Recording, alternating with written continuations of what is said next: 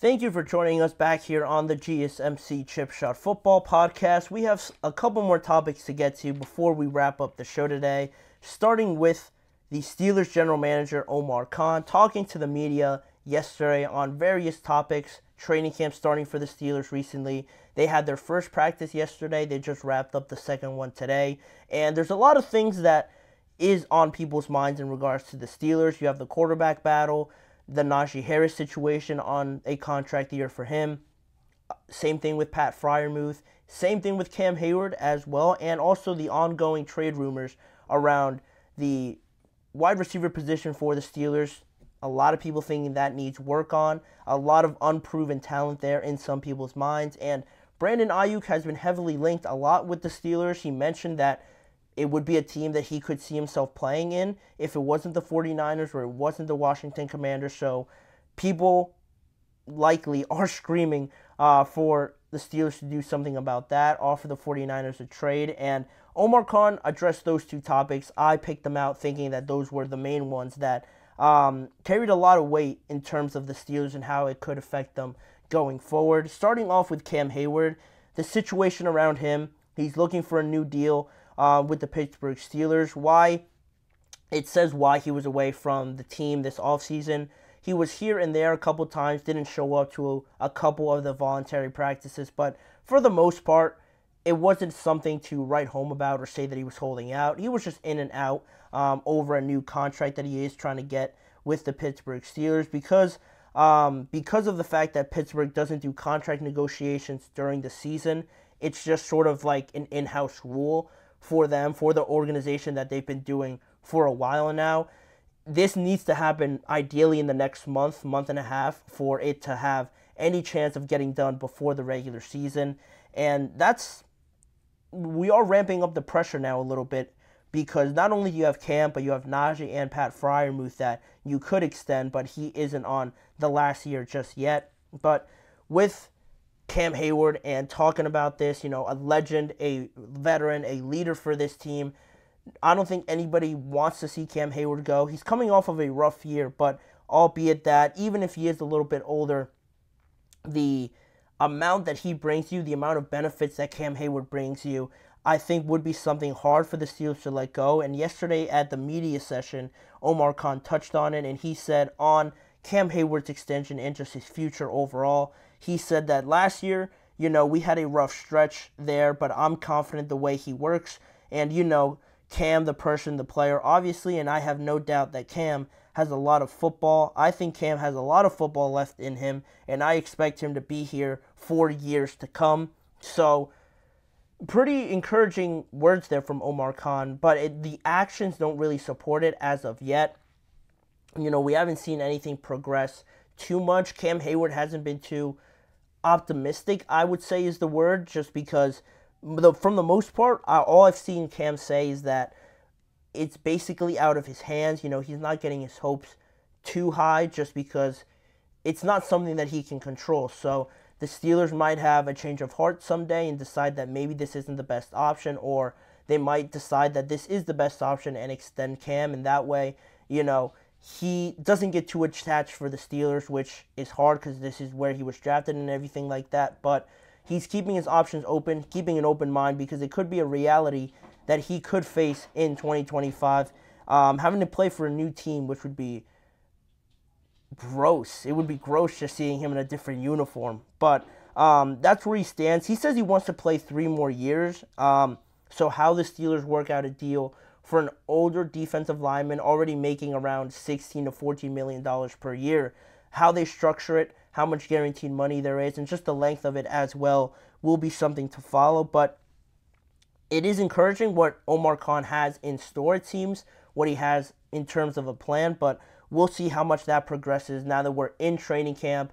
Cam Heyward's not holding out or anything, so he is there.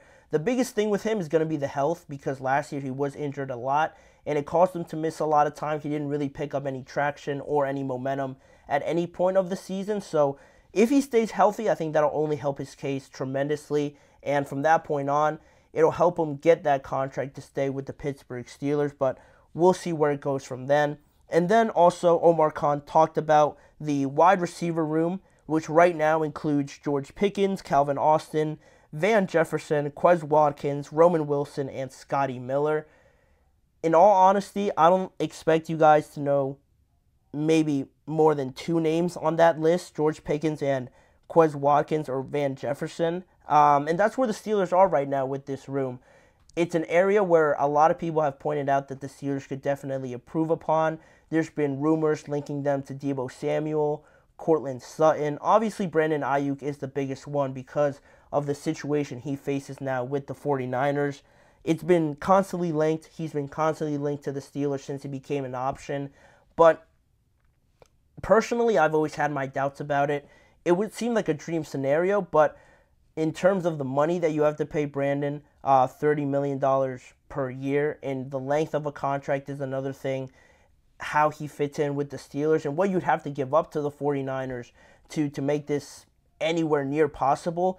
It seems like too steep of a hill for the Steelers for the Steelers to climb at this point. Whereas I feel like if they desperately needed to make any changes to this wide receiver room, I feel like they would have done it. But Omar Khan also spoke about this, and he seemed more hopeful for this group. He said, "There's nothing going on right now. If there's any, if there's an opportunity to upgrade whatever the room is, we're going to look at it. But I feel good about that room we have right now. So."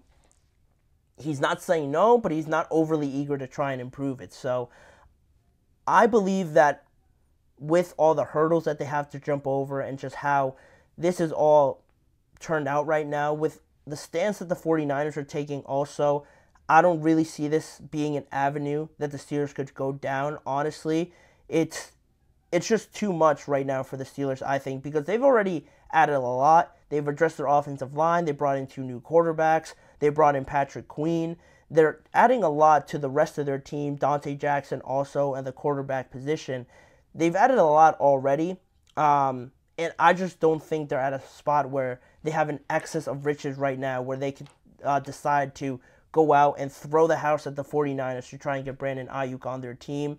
Yes, they need it, and that would be a dream scenario, but I don't see it being a case where they have enough, honestly, just to give it over to the 49ers. And yeah, at that point, if you decide to move on from Brandon Aiyuk, at that point, I wouldn't even bother bringing in anybody else because the level of available receivers right now, I think you're better off just keeping this group that you have in Van Jefferson, Calvin Austin, and uh, Roman Wilson, George Pickens, obviously, because of how this offense looks. Not too dependent on the pass, but more so the run.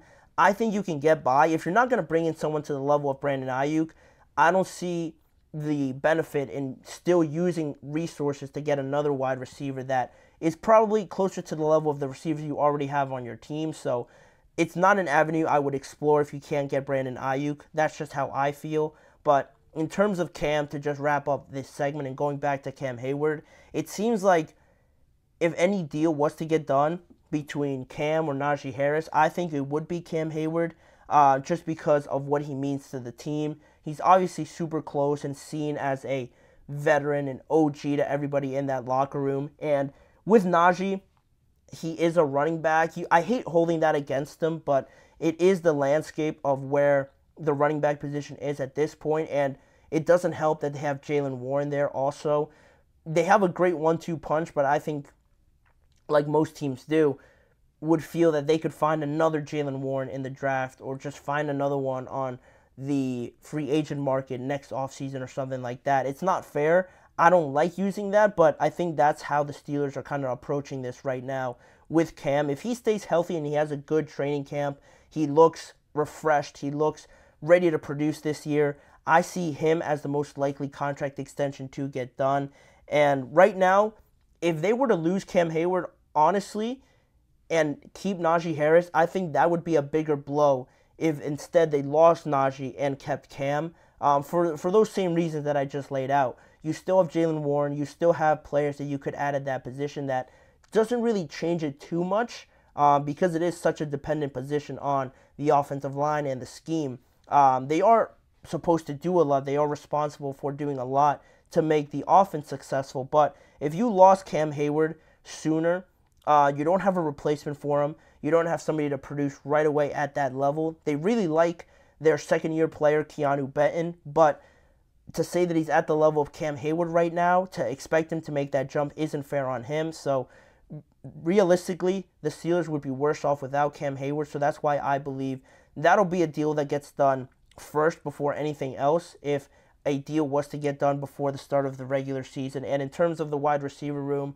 we're not erasing all hope, but I'm not getting my hopes up too much on the Steelers adding another wide receiver or adding um, trading for Brandon Aiyuk at this point. The 49ers don't have to trade him. They want to keep him. They want to continue to work something out. And if that, if all those hurdles are stacked right in front of you, it doesn't look too likely. But with Omar Khan, you don't honestly know. When he became the general manager, I didn't know what to expect too much, and he has proven to be overly aggressive to jump on opportunities. So, whatever happens, I'm going to say I'm surprised or I'm going to say I expect it, but it could go really either way with Omar Khan. And I really like that about him. I think the Steelers needed that sort of proactive change to their organization. So we'll see. They have a lot of things still left on their to do list. We'll see which one they decide to cross off first as we head deeper and deeper into the offseason. But we're going to wrap up with that segment. We have one more to talk about on today's show. J.K. Dobbins, I think he's going to be a crucial piece for the Los Angeles Chargers in 2024. We're going to debate whether he's going to be more crucial to the success of the Chargers or is it going to be a wide receiver that they still have to find to be that elite option for Justin Herbert? Which one is going to be more crucial this year in Jim Harbaugh's first year? Stay tuned to find out the answer after this short break.